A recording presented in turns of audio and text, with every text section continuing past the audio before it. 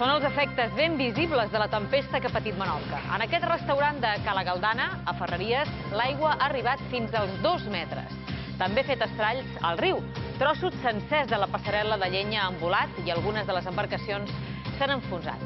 Ferreries, amb 152 litres per metre quadrat, ha estat la zona més afectada pel temporal d'aigua i vent, però també al llevant de l'illa, amb nombrosos desperfectes i arbres caiguts. Bon vespre. A Mallorca continua tancada la carretera entre Andratx i Estellencs després del despreniment de roques que hi ha hagut a la zona. Els esforços se centren ara a retirar-les i a instal·lar malles per evitar nous despreniments. El Departament de Carreteres del Consell calcula que el trànsit hi estarà restringit uns dies més. Els vehicles que hagin de fer aquesta ruta poden fer-ho per la carretera d'Escap d'allà o bé a anar per Palma. I aquestes imatges amb ones de més de 6 metres mostren el perill en què es trobaven els 5 tripulants d'aquest bot a rem que han estat rescatats per salvament marítim a 50 milles al nord-oest de Maó. Participaven en una regata quan, a causa del mal temps, un dels tripulants ha caigut a la mà. Per sort, tots estan en bon estat de salut.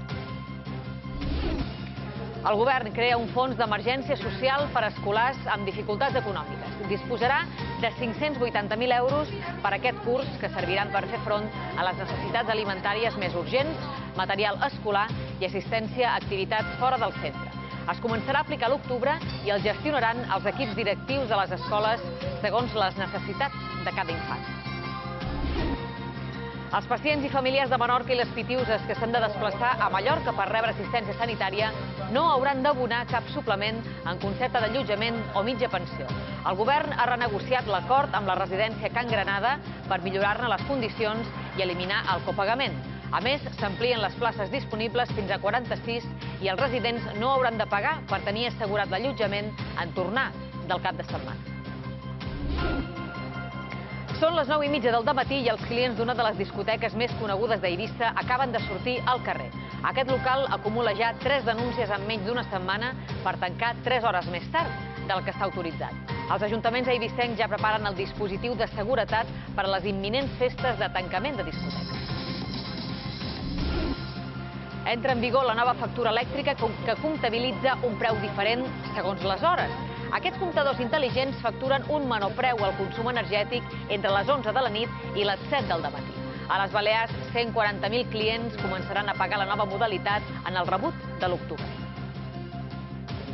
Al temps d'esports, bon vespre, el president del Mallorca confia, però no cegament, en el seu entrenador. Això va dir Uts Klassen ahir vespre en un programa de la televisió alemanya. Quan va ser demanat per la situació de l'equip i en concret del Xavi Ferrer, el màxim accionista no va ser capaç de garantir la continuïtat del tècnic més enllà del partit de diumenge a Oviedo.